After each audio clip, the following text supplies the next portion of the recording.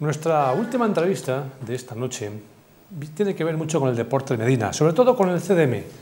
Nos visita su presidente y además responsable de comunicación, Francisco Tellez. Buenas noches. Buenas noches.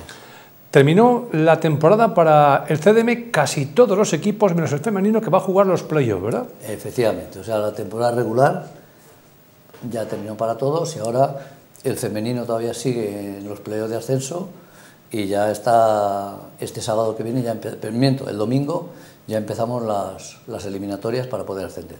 Bueno, ¿cómo han ido terminando los diferentes equipos? ¿sabes?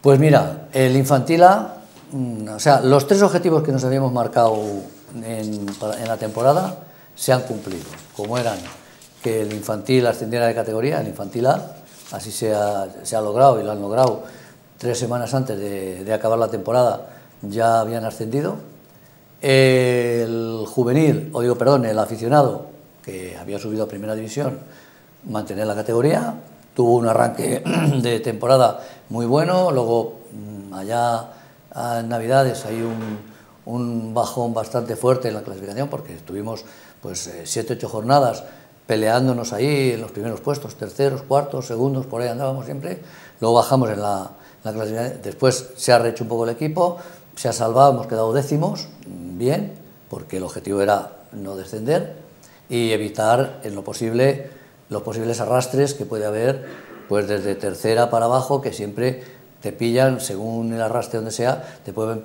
pillar en la categoría provincial de la provincia a la que corresponda, ¿no? Entonces, eso es lo que queríamos salvar dentro de la provincia de Valladolid, también lo hemos salvado.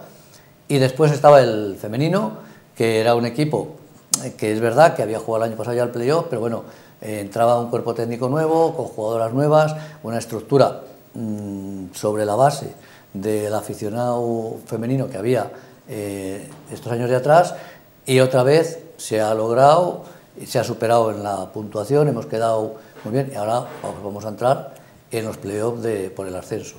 Y el resto de equipos, pues mmm, bueno, eran objetivos en fútbol sala, había dos alevines bastante diferentes las plantillas una de otra, los dos yo creo que han cumplido con lo que más o menos veíamos desde el principio que podía pasar.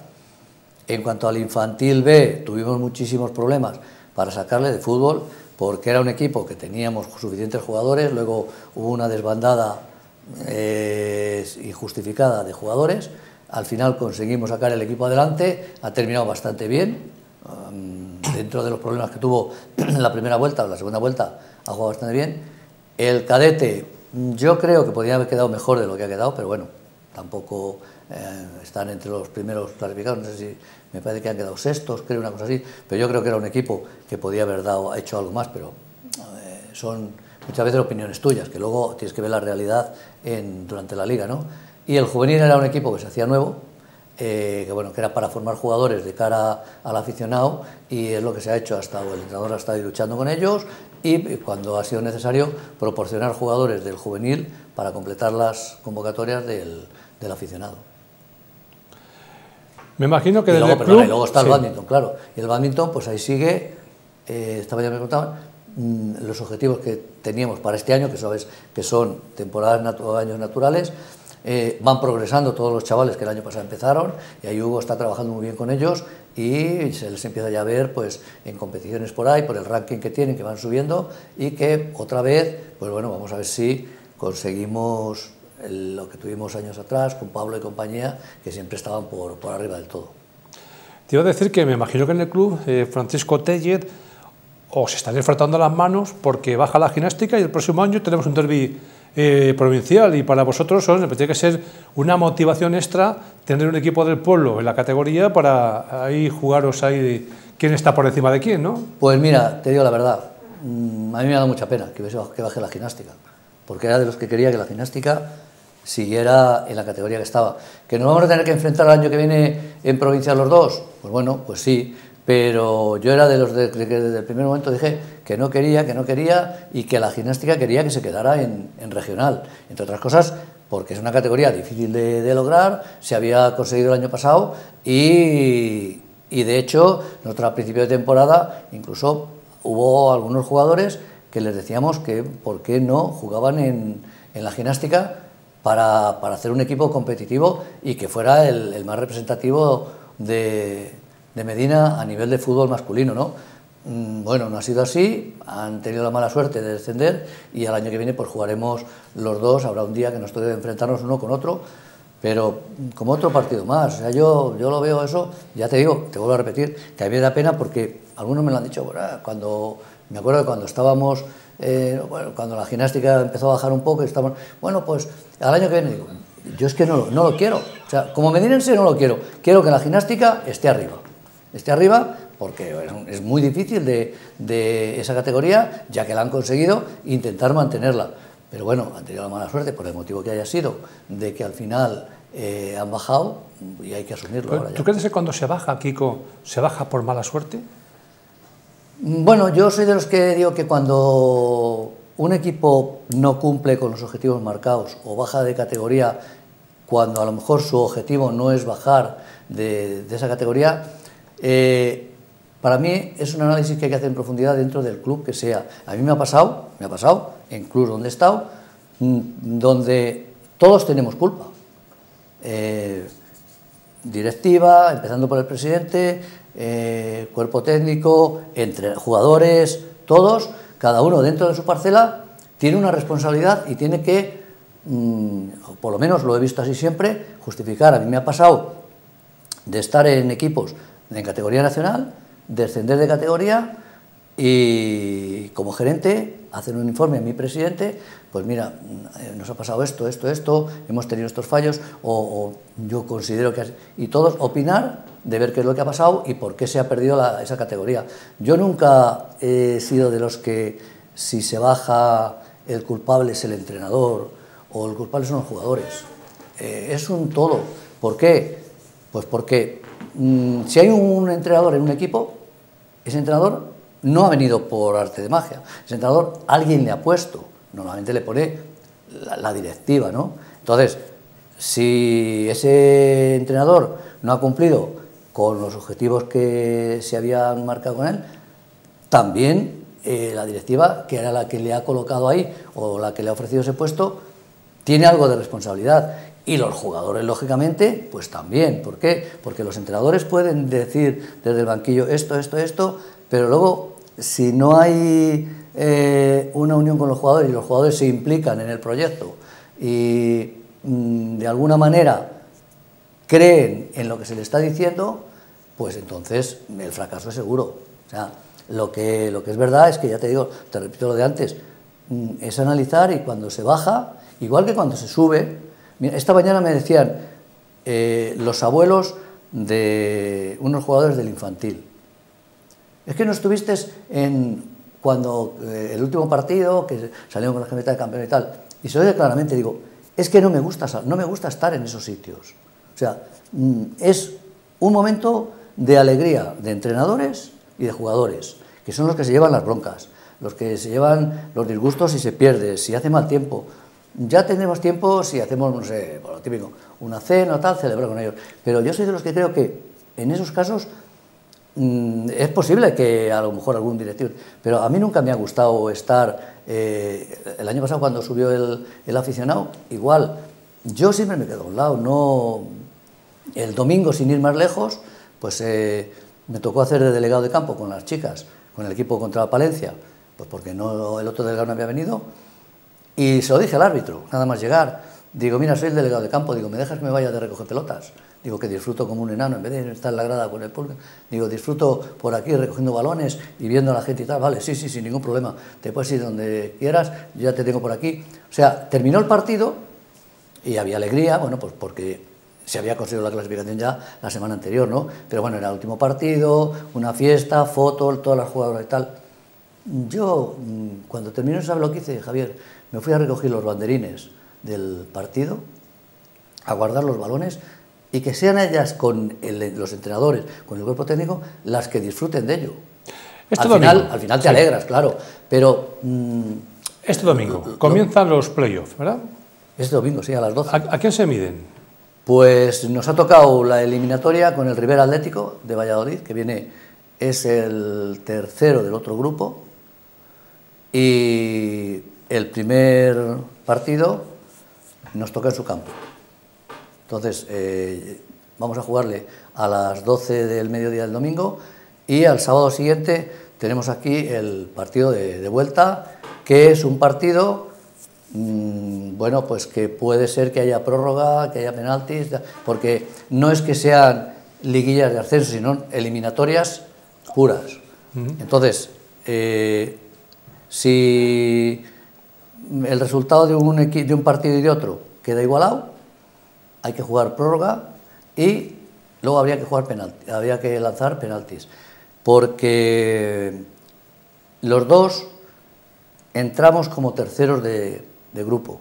Si hubiésemos entrado uno segundo y otro tercero, creo, creo ¿eh? no recuerdo exactamente con la normativa, pero me parece que tiene preferencia el que ha entrado como segundo. El caso nuestro es que el Burgos, que estaba por encima de nosotros, igual, pero nos, nos pasaba en la clasificación, no podía promocionar por, porque tiene otro equipo por arriba y no puede subir. Entonces, al entrar los dos iguales, tiene que haber prórroga. De hecho, el año pasado eh, se jugó prórroga después aquí en la, en la final. Entonces, el... Partido, dices partido puro y duro como la eliminatoria. con la, eliminatoria. Si el equipo de Medina consigue la victoria... Y luego, si nos clasificamos ahí, nos tenemos que eliminar en la final contra el ganador de la otra semifinal, que es el Colegio Diocesano de Ávila, que estaba en el grupo nuestro, quedó cuarto detrás de nosotros, contra la Virgen del Camino de León.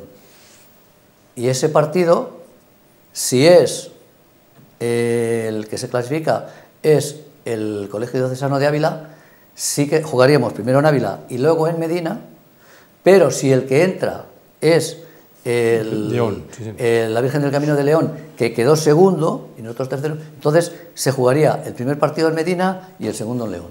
Es como está establecido en la, en la circular. Y si se consigue la victoria... Y si se, gana, si se gana esa final, entonces se asciende a la Liga Gonalpi. Que la Liga Gonalpi es la categoría anterior a Primera Red, a Primera mm, Nacional, digamos. O sea que sería, por ejemplo, ascendería a Tercera División. ¿A qué ascendería? Efectivamente, o sea, sí, a tercera, a tercera red. A tercera. Y luego ya estaría segunda.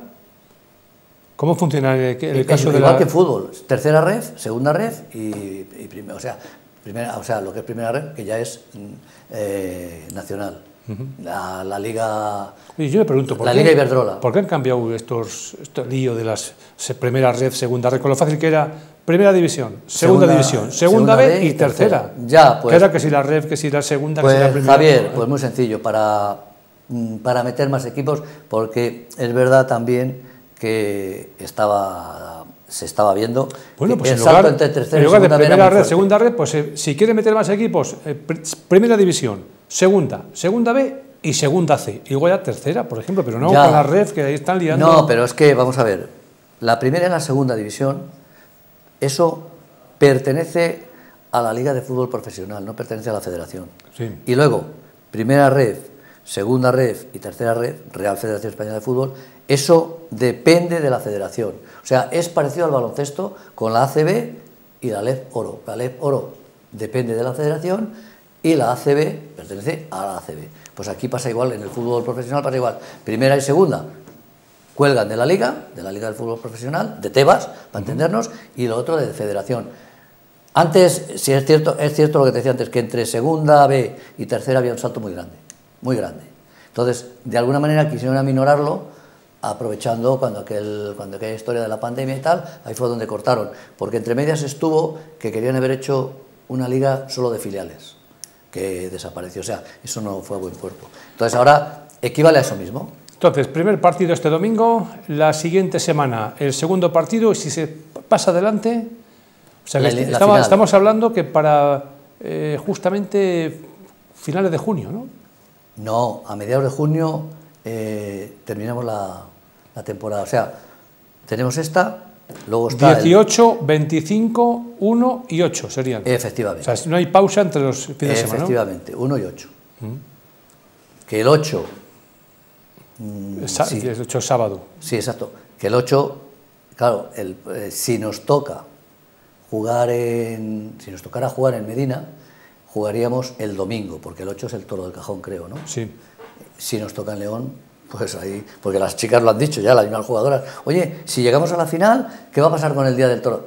Pues si nos corresponde jugar en Medina, lógicamente le ponemos el domingo.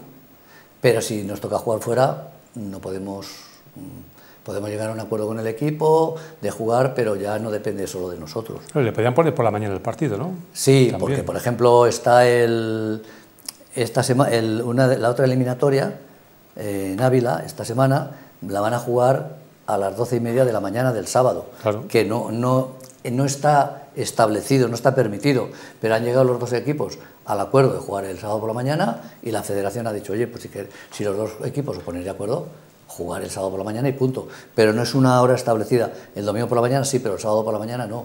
¿Por qué? Por el tema laboral, porque esa categoría hay muchas jugadoras que trabajan. De hecho, el equipo, nosotros algunos días tenemos que colocar los horarios de los partidos el sábado, eh, según a qué hora, porque, porque trabajan jugadoras. Cuando vamos fuera, pues mira, mm, ya ahí las jugadoras hay veces que piden permiso, que sabemos que hay jugadoras que no podemos contar con ellas porque trabajan. Cuando jugamos aquí sí que solemos poner el partido a una hora donde todas las jugadoras puedan estar. Bueno, pues dejamos al CDM, que es el equipo que preside Francisco Tellet, Kiko. ¿Qué te parece cómo tenemos la primera división? ¿Eh? Pues... Con el Madrid que está intratable, ayer 5-0 al Alavés, un entrenamiento, ¿no? Ya, mm, yo te digo una cosa, que es que ahora están hablando que si tal, que si cual, a lo mejor, eh, que si el Madrid, sufrimientos, esto, lo otro, pues a lo mejor es mejor quedar por la mitad de la clasificación, que no tiene ningún sufrimiento, ni subes ni bajas, ni, ni te preocupas que si te van a entregar la copa, que si no te van a entregar la copa, que qué sufrimientos, que dónde lo celebro, que dónde no lo celebro. Pues mira, me he quedado la mitad de la clasificación. Muy contento porque he quedado campeón de liga, claro.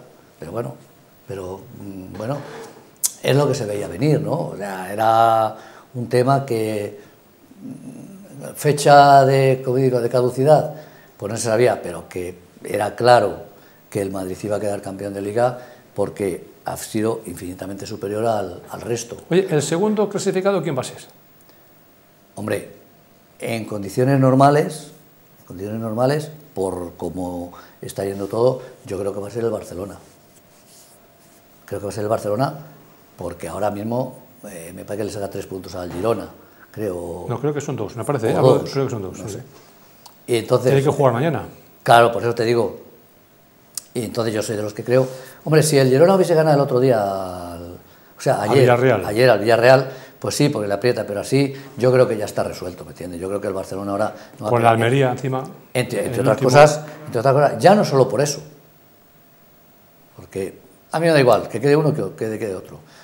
Mm, si me das a elegir, casi prefiero que quede el, Girona, porque así, bueno, pues mira, es un, premio por la Supercopa.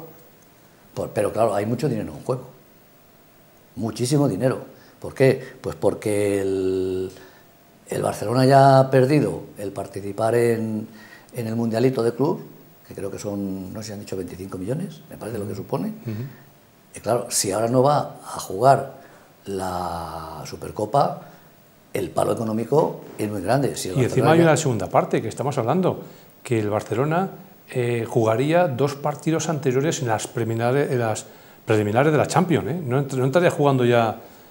También. Tendría que jugarse dos partidos, sí, partidos ahí. Entonces, son las dos cosas. Yo creo que ahí el Barcelona va a apretar porque ya no por quedar el segundo, sino porque mm, económicamente sería un desastre. Eliminado de la Champions, eliminado del Mundialito, si ahora le eliminan de la Supercopa, ya están diciendo que bueno, que a ver cómo cuadran todos los números y, las promesas que le han hecho a Xavi de fichar o no fichar o lo demás allá, ¿no? Mm, yo soy de los que creo que el Barcelona con la estructura que tiene tiene fecha de caducidad, llevo diciéndolo mucho tiempo. Y el Valladolid, eh, que el otro día perdió una ocasión buena de, de pues haber el afianzado en, el partido. Yo el otro día lo comentaba en el descanso del partido contra el español. Se lo decía allí a los compañeros en el estadio, a los que están al lado. Digo, parece que están jugando los dos a no perder, a jugar con el freno echado.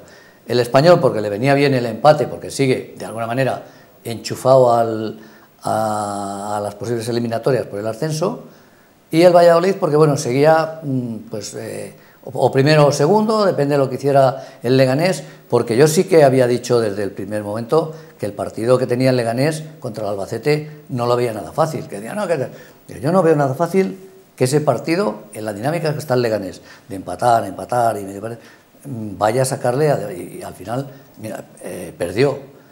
Pero que para mí, el primer tiempo, aparte de que fue muy marrullo, yo no he visto nunca un español dar tantas patadas con un juego tan duro, incluso se oían gritos, que al principio no entendía lo que querían decir. Eh, desde la grada donde estamos nosotros, que estamos justo detrás del banquillo eh, visitante, que Bordalás, yo decía, ¿por qué dicen, por qué habla, dicen Bordalás? Y ya me dice uno al lado, joder, pero no lo ves, dice, por, por, lo que están repartiendo y el juego tan, tan duro que están haciendo, se están acordando de Bordalás con el Getafe. Digo, ah, vale, digo, es que yo he oído Bordalás, Bordalás. Digo, eh, una victoria del Valladolid ante el Alcorcón este próximo fin de semana supondría matemáticamente ya eh, estar o eh, ganar la, la liga, quedar segundo, que te da opción también de ascenso, o meterte en los playoffs, ¿no? Es que hay, tantos equipos ahí. Claro, ahí está. si se gana el español, o digo, perdón, si se gana el Alcorcón, ya el Valladolid ya entra en playoff fijo, fijo, Depende de lo que el Leganés haga, porque el Leganés tampoco tiene fácil el partido de esta semana contra el Sporting. Es verdad que es en Leganés, pero el Sporting también está ahí apretando, que también se puede quedar descolgado este año de los playoffs de ascenso y está ahí metido si el Valladolid puntuara en Alcorcón y el Leganés no es capaz de ganarle al, Sporting, casi tiene asegurado el ascenso directo, porque bueno, luego le queda... Quedan seis puntos, quedan. Queda el Villarreal aquí en casa, en casa que yo creo que se le gana, y uh, yo lo comentaba, digo, el, yo el miedo que tengo es el último partido, Tenerife-Valladolid. Ah, el Tenerife ya lo tiene todo resuelto ya, pero es la honrilla, y el Tenerife es un equipo importante, ha estado jugando bien, muchas temporadas. Ojo, digo, a mí me gustaría llegar al partido de Tenerife con todo el pescado vendido, con todo resuelto, porque el, partido de Tenerife puede ser una trampa. Luego, que quede primero o segundo, pues mira, ayer, además ayer lo hablaba con, con uno de la cantera del Valladolid, con el responsable de cantera, de que se lo decía, digo, yo quiero subir. Hombre, digo, prefiero campeón por el dinero, por el dinero que recibe el club porque no es lo mismo quedar primero que segundo. Pero si se sube como segundo, pues tampoco sería, sería dentro de lo bueno, digamos lo peor. Pero digo, yo lo que quiero es que suba y yo creo que ahora se le ve en un plan de que subir. Va a depender ahora porque el Alcorcón también, claro, estamos hablando que se va a ganar el Alcorcón. El Alcorcón anda ahí, ahí en el filo de la navaja, que si gana, creo que sale de puestos de descenso. Es verdad que luego va a depender de lo que hagan los demás, ¿no? Porque está muy reñido. Tú dices por arriba, pero es que por abajo Igual. Eh, están por un estilo. a mí el que me ha sorprendido tremendamente es el Cartagena. Yo no he visto, el cambio que ha pegado. Yo no, yo no entiendo, como un equipo, la primera parte de la liga no gana ni un solo partido, pierde todos los partidos, comienza la segunda parte y si dura un poco más la liga se mete en los playoffs. O sea que no, no, ahora está, de no ganar nada a estar salvado. Ahora está ya prácticamente salvado. Y yo pensaba que bajaba, digo, baja fijo, sí, baja sí, fijo, sí. no ganaba ningún partido. Está prácticamente salvado porque, bueno, quedan nueve puntos, pero está en una dinámica de ganar, de ganar, de ganar. Al principio con Calero le costó al equipo hacerse, pero ahora es verdad que han empezado a, a subir, a ganar partidos y es de los equipos, es lo que tú dices, que, bueno, la primera... Pero es que mira, dices tú el Cartagena, acuérdate cuando empezó la liga, que el Zaragoza, uno, otro, otro, y todos, en todos los sitios. Este año es el año del Zaragoza, este año es el año del Zaragoza. Pegó cuatro pinchazos y está ya fuera de playoff. Y el Zaragoza no va a entrar. O sea, yo te digo que la, liga, es que la liga de segunda división es muy dura, ¿eh? muy larga y muy dura. Y son equipos muy, muy iguales. Otro ejemplo le tienes el Eldense, que si no sé qué, fíjate dónde está el Eldense ahora. Kiko, gracias por venir. Ya miras contando las evoluciones del equipo del CDM. ¿eh? Gracias. Muy bien.